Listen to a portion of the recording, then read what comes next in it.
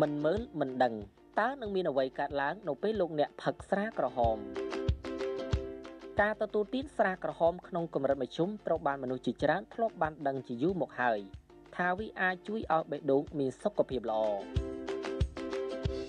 ជាតិអាល់កុលនិងសារធាតុមួយចំនួនដែលមាននៅក្នុងស្រាក្រហមដោយគេហៅវាថាជាសារធាតុប្រឆាំងអុកស៊ីតកម្ម អាចជួយការពារជំងឺបេះដូងបាន ដោយការបង្កើតកម្រិតកូលេស្តេរ៉ុលលីប៉ូប្រូតេអ៊ីនខ្ពស់ដែលវាជាកូលេស្តេរ៉ុលល្អនិងថែមទាំងជួយការពារសរសៃឈាមទៀតផង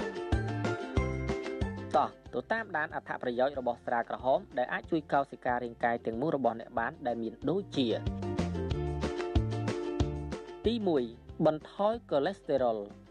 ទំពាំងបាយជូរក្រហមដែលសម្បូរទៅដោយជាតិសរសៃត្រូវបានគេប្រើប្រាស់ជាគ្រឿងផ្សំចម្បងបំផុត ក្នុងការផលិតស្រាក្រហម ទំពាំងបាយជូរក្រហមពិតជាមានឥទ្ធិពលលើកម្រិតកូលេស្តេរ៉ុលពិតប្រាកដមែនការសិក្សាលើមនុស្សដែលទទួលបានសារជាតិបំប៉នពីទំពាំងបាយជូរនៅក្នុងស្រាក្រហមបានបង្ហាញថាពួកគេមានកម្រិត LDL ឬក៏កូលេស្តេរ៉ុលមិនល្អ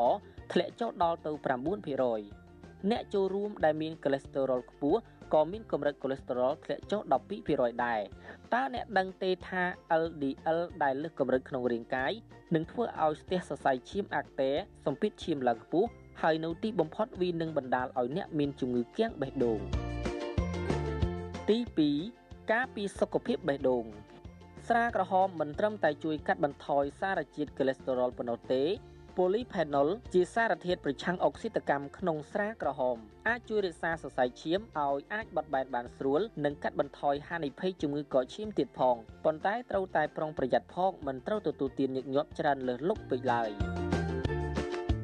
ទី3ត្រួតពិនិត្យជាតិស្ករក្នុងឈាមសម្បកខាងក្រៅរបស់ទំពាំងបាយជូរក្រហមពិតជាអាចគ្រប់គ្រងជាតិស្ករដែលអាចបង្ការជាជំងឺទឹកនោមផ្អែមនៅក្នុងឈាមរបស់មនុស្សបានមែនដោយការបញ្ចេញអាំងស៊ុយលីនឬក៏ប្រូតេអ៊ីនក្នុងរាងកាយអ្នកបានទទួលទានសារធាតុរបស់សម្បកទំពាំងបាយជូរ Resveratrol ក្នុងស្រាក្រហមចំនួន250មីលីក្រាមមួយថ្ងៃមួយដងក្នុងរយៈពេល3ខែបានថយចុះនៅកម្រិតជាតិស្ករក្នុងឈាមជាងអ្នកដែលមិនបានទទួលទានជាងនេះទៅទៀត resveratrol ក៏អាចជួយបញ្ចុះកូលេស្តេរ៉ុលនិងបន្ថយសម្ពាធឈាមប្រភេទ systolic បានផងដែរ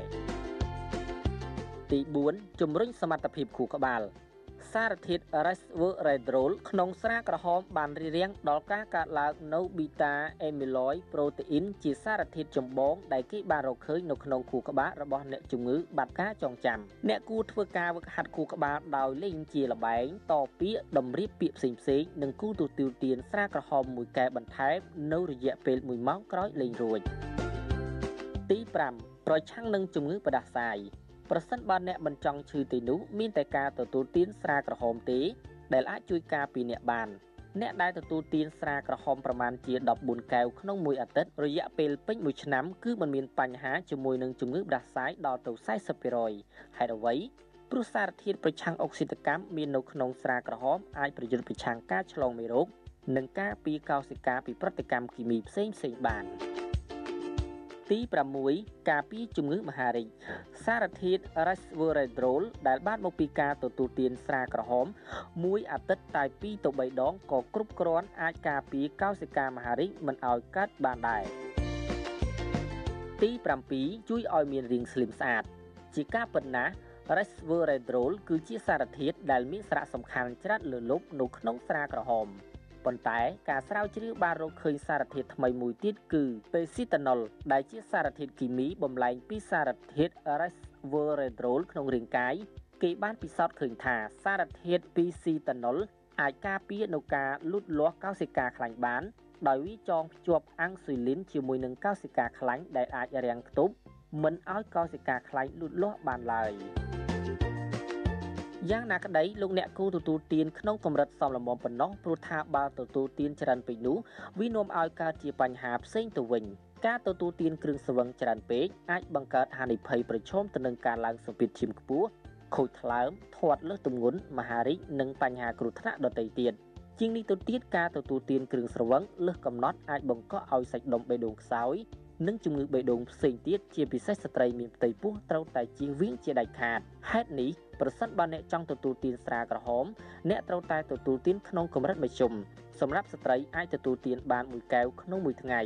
រីឯបុរសដែលមានអាយុលើសពី65ឆ្នាំឡើងអាចទទួលទាន1កែវក្នុងមួយថ្ងៃនិង2កែវក្នុងមួយថ្ងៃសម្រាប់បុរសដែលមានវ័យ65ឆ្នាំចុះក្រោម។